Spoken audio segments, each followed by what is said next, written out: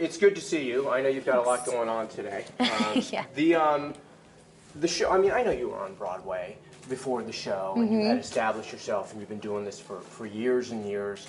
But this show, Glee, ha- had to changed your. Oh yeah, Yeah? completely. It completely changed my life. I mean, I had an amazing experience working on Broadway from you know the time I was eight till 23.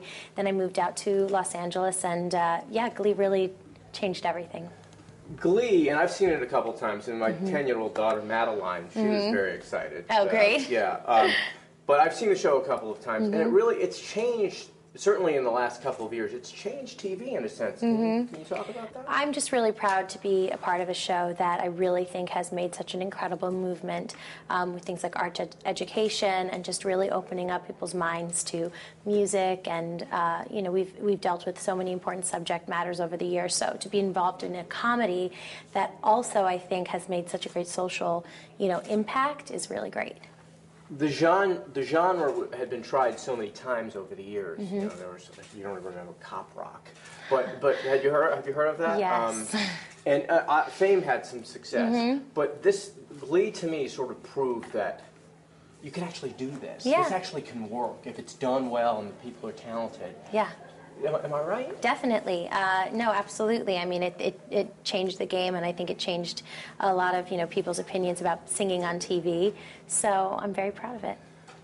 The show is wrapping. Is it wrapping up now? Next season will be our last season. They're Uh, they're gonna be so. They're gonna be crying there. You know that, right? well, that's why I have an album and a book out, so that we can keep working. And uh, yeah, But are you sad? We'll talk about the album and the book because I definitely want to talk about that. The show is wrapping up. So- so What are your feelings about that? Mm-hmm. Well, you know, everybody keeps asking that, and I think that it's a little, um, you know, early for me to kind of, obviously knowing that it's the last season that, you know, is pretty emotional, but we still have an entire season to film, and that's a lot of work, so I'm just taking it one step at a time.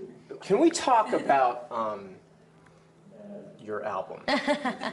Yeah, my album is called Louder, and it came out just a couple months ago. And uh, my first single, Cannonball, uh, we released the music video, and it was amazing. And now I have my second video coming out this Monday uh, for my new song, On My Way, which I absolutely love.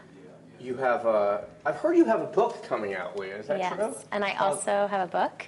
Uh, it's been a very busy 2014 so far, but it's been an awesome year uh, with Louder coming out, and now Brunette Ambition, my new book, coming out next week.